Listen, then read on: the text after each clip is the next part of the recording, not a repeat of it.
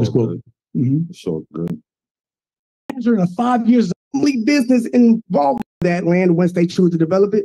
yeah, So the investors have to hope that you would be fair when it comes time to do that and not charge an unfair amount of money, right? That's the that's the idea. yes. Okay. I mean, I have to do that. I'm going to do what's in the best interest of the fund, as I I have been. I mean that that sounds good, but you personally own it. So I mean, and I'm not saying it's a question of character and integrity, and I'm not saying you don't have it, but what I am saying is that's asking a lot of your investors who didn't necessarily agree to they agreed to let you manage it, but they didn't agree to let you have 32 uh 27 of these acres. You get what I'm saying? Let's back it up, Joe. Good, fair enough. Cool. The land is not land that Tref paid for. So you didn't Sure. buy from Tref. No, I did buy from Tref, Okay. right? Okay. So I bought from Tref, recapitalizing Tref. Tref got all of its capital plus a profit.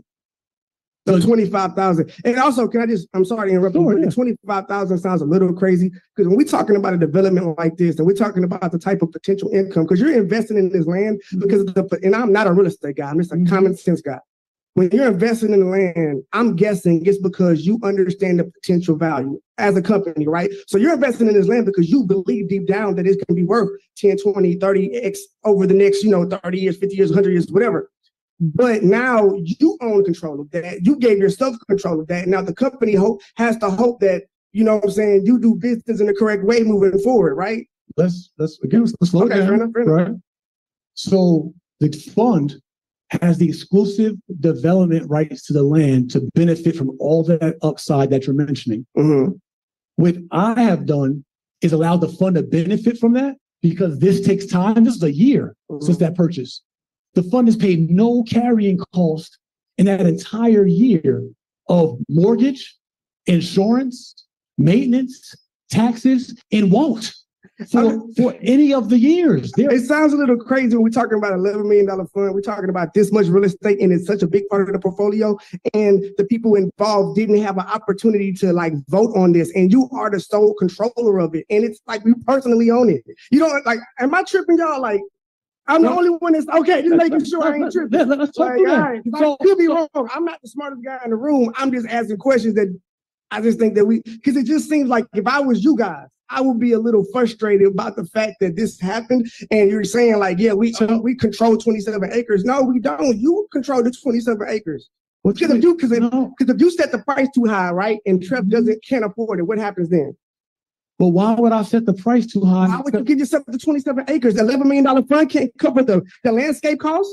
Bro, I can't cover the landscape costs and the mortgage. Like we, that We shit like just- that was a bad investment. we, we, I'm sorry. I'm just, I just, I just. no, no, we, y'all been really nice to him No, because y'all friends, no, no, and I'm no, no, no, no, no, and I like you. You my nigga. No, I like you. no, my no, bad. no, you, you use that word here. Yeah, my bad. My bad. You my king. Listen, listen, iron sharpen iron. I'm cool with the iron sharpen Cool, cool, iron. cool. Let's go. But you, you, you taking it out of context. Okay, let me shut up. I'm gonna let you talk. Hey, You, you can still build up. Okay, to ahead. concept. Mhm. So the fund is benefiting, right, Mhm. from these development rights from the land. You're saying, oh, but but you but you control the control the land, all that kind of stuff. Mhm. King, I'm the manager of the fund, Mhm. right? I got our fund all of its capital back based on our capital. because We were an $11 million fund at this acquisition, Okay, fair enough. right? So look at the context. So you, easy to throw Fair that 11 million out, out there. enough. I just said we're sub 500,000 and must raise capital, right? I just said that. But not at that time. Correct. Not, not that time. Mhm. But we were not in a capital position to carry this land. Mm. So if I got us all our capital back so we continue to operate and move forward and still got us the land, King, Mm. I gave the fund a layup. Opportunity for us I to develop and, and pull this together, King. And also, this is another question, and this is this is another topic or another. Uh, let's change it a little bit. Did he answer? Yeah, yeah, yeah. I'll, I'll take that. I'll take that answer. And I, and it's really not for me. It's for them because I didn't invest. I wish at the time I believed in you, and I and I I, I can't say I do, but I did at the time, and I and it hurt my feelings because I wasn't in a financial place to to invest. Now I, it wouldn't be a thing, but at that time it was. So it kind of hurt my feelings that I couldn't be a part of this. So to see it, you know, become this is it's even like more saddening, more heartbreaking. But what I will say is this too: you spoke about your family. You spoke about how you know the taxing you've been brutal and that you know you were trying to protect your family by moving things around. And also you were a fund manager and you have fiduciary duty. And you also spoke to the fact that you have a higher level of accountability because of what we've seen in the black community with the churches and other people taking advantage of the, you know, the black dollar. Do you think that looking back in hindsight, that it was foolish to involve any type of personal residence, family business involved with trust at all? Because now you're having to answer these questions and it does let you look bad. It, it makes the fun look incompetent and bad because we're having this, like you say, is this bad press? Do you think that now that decision was foolish and you shouldn't have involved your personal residence at all with any of the fun stuff? Because I feel like a lot of these people probably would feel better if it was separate. Like I wouldn't want your personal residence involved in our, like if it was me, our business. Like that seems like that's creating murky water and now you have to answer these questions and it puts you and the fund in a bad position. So do you, I mean, I'm just asking, do you think that was a bad idea looking backwards? No, Okay. yeah, I, I think, I think we have, we have, we have an opportunity where the fund gains profits about a thirteen to sixteen percent annualized return with getting all of its capital and still the ability to produce the vision of what we produced without having to bear the operational cost and the burden. Mm. Like these are the facts. I'm not like just making this up. These are the facts. The fund has the opportunity to develop this, and we've been working. This is not we didn't make this up overnight or the last two weeks. This has been a year in progress of pushing for it. Yeah, so you said a better way to do it. This is the fun, this is, this is the fun, really for it. Excuse me.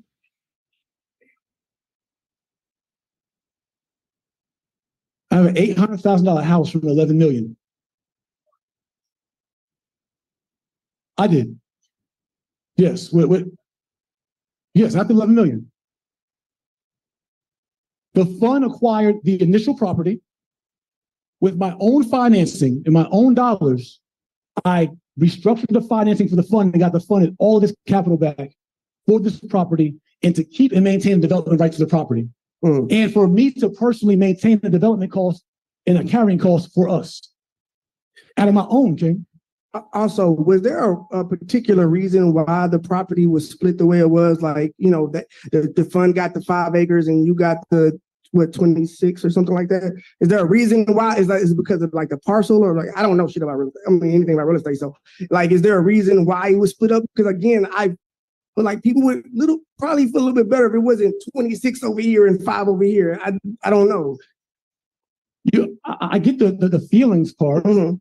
I'm talking about the facts part. Okay. The fact is that our fund made a return over its capital and got all of its capital back to continue to operate the fund and still in position. Twenty-five thousand dollar profit when we're talking about potential like millions or tens of millions of dollars if, if your if your development goes through. fund is still participating in, brother. I you are well as well. I'm, that's all I'm done. I'm done. I'm good. Which, which I the fund is still, is still participating in. Okay. All right. Right. So upfront money and long-term money with no carrying cost. And the refinancing and structuring was brought by not funds of the fund. These are the facts. Thank you for your, your, your your questions and your, your challenge, Joe. He, he beat me feet. Um, so listen, um, I, I, again, I'm, I'm, I'm, yes, sir. What you need? Let's get after it. Thank questions. you. All right.